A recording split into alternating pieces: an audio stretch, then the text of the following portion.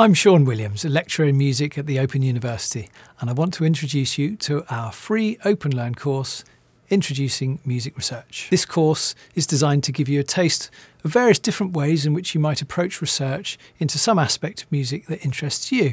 The material is all taken from our new Music MA course and draws on research carried out by various music staff at the Open University. The five sections in this course start with a look at what musicology is, then progress through Women in Music Studies, Historically Informed Practice, Grime Music Reception in the UK, and soundscapes. You'll look at such issues as why there are so few pieces by women composers performed by classical orchestras, or how historical bias still affects contemporary practices and perceptions. You'll encounter the authenticity debate and look at the case study of Mozart's piano pedalboard. The section on grime examines the different ways that the mainstream media has portrayed the genre and you'll encounter the field of sound studies by looking at and listening to the soundscape. Each section has a number of activities. For example, in the soundscape section, you'll be asked to choose a location. Spend a few minutes either walking or sitting, whatever suits you, but actively listening to all the sounds you can hear around you.